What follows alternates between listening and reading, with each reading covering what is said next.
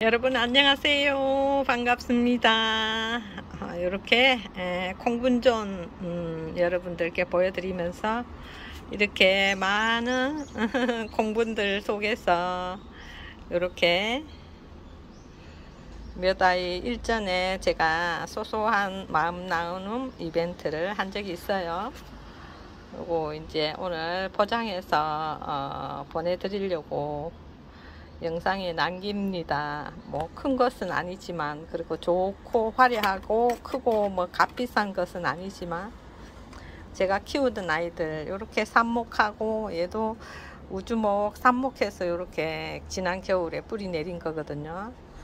그리고 요 천탑 이 아이도 제가 키우던 아이 예, 이렇게 따로 여기다 심었는데 따글따글하니 잘 자라주고 있어요. 요 까라솔도 제가 다 어, 꼬집기 하고 이렇게 하면서 어, 하나씩 늘려서 키우던 아이들이에요. 이 기천도 제가 적심해서 키운 아이고요.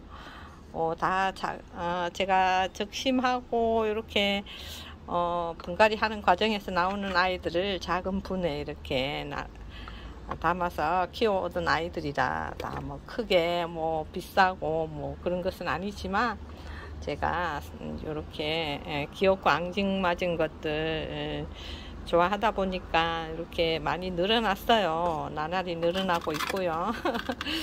뭐 크게 뭐 비싼 거 뭐 사서 뭐 들여서 키우고 그렇게 하진 않지만 제가 입고지도 하고 또 분갈이 하, 하면서 포기 나눔도 하고 어 이렇게 또 어, 작은 분에 또 나눠 심고 해서 제가 이제 소소한 나눔을 하게 되었잖아요.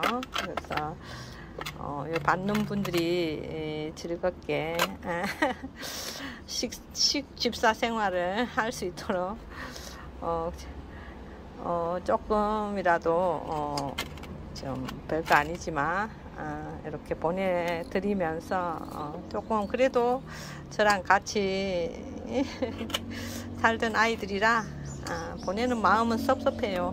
그래도 또 아, 받으시는 분이 이쁘게 잘 키워주길 바라면서 제가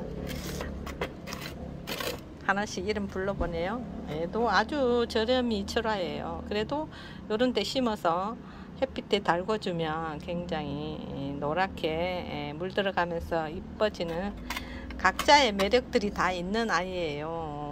요 까라솔도 햇빛 보여주면 라인이 아주 선명하게 이뻐지거든요.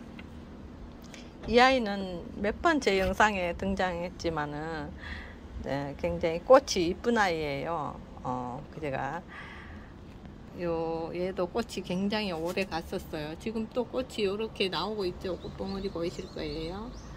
어, 이렇게 분갈이 과정에서 나온 아이를